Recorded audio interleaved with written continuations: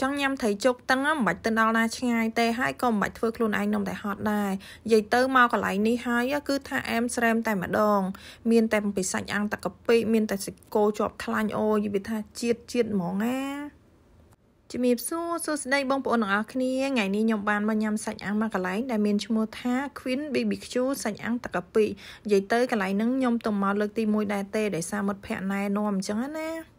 គ្រាន់តែមកដល់ភ្លាមនេះគឺថាខ្ញុំរូតរះកំងយកតែម្ដងហើយនេះម្ហូបដែលខ្ញុំបានកំងគឺបានមកដល់ហើយអានេះជាសេតរបស់គេបងប្អូនទាំងអស់គ្នាមួយសេតនេះដូចជា50000ជាងអ្នកដែលទៅពីរអ្នកអីយកមួយសេតនេះទៅល្មមហើយមានតាំងពីត្រីជោគតឹងមានតាំងពីសាច់គោជាប់ស្បែកសាច់គោជាប់ខ្លាប្រួយត្រីសាម៉ុនហើយនឹងមានសាច់ផ្សេងផ្សេងទៀតនិយាយទៅបងប្អូនដែលទៅពីអ្នកអីហ្នឹងគឺហៅតែមួយឈុតនេះគឺអែមស្រែមតែម្ដងប៉ុន្តែខ្ញុំឃ្លានខ្លាំងណាស់បងអូនអើយមួយឈុតនេះគឺខ្ញុំញ៉ាំអត់ឆ្អែតទេអញ្ចឹងក៏ខ្ញុំហៅថែម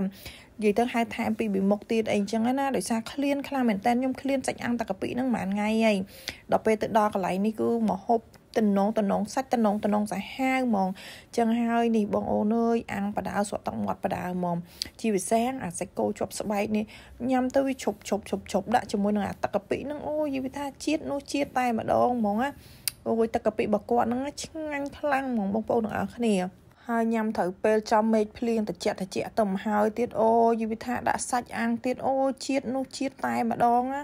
សម្រាប់បងអូនឲ្យគាត់របៀបចូលចិត្តញ៉ាំបែបសាច់អាំងទឹកកាពិសាច់អាំងអីអញ្ចឹងអូខ្ញុំ recommend ទៅកន្លែងគាត់នឹងហ្មងជាតិសាហាវហ្មងណាហើយជាពិសេសនេះបងប្អូនដែលគាត់ចូលចិត្តបែបប្រភេទត្រីណាត្រីជោគតឹងនេះខ្ញុំឆ្ងល់មិនបានគេហៅត្រីជោគតឹងខ្ញុំជោគឡើងធូរហ្មងហើយនេះខ្ញុំដាក់ជាមួយនឹងជីស្វាយហើយជីស្វាយនេះ ក៏ខ្ញុំមិនដែរដឹងថានឹងជីស្វាយដែរបងប្អូនទាំងអស់គ្នាញ៉ាំមកជីវិតហើយទឹមតែដឹងថានឹងគេហៅជីស្វាយអូយនិយាយថាជាតិហ្មងម៉ាត់ណាក៏ជាតិដែរបងអូនចង់ញ៉ាំអាចទៅកន្លែងគាត់បានខ្ញុំ recommend ហ្មង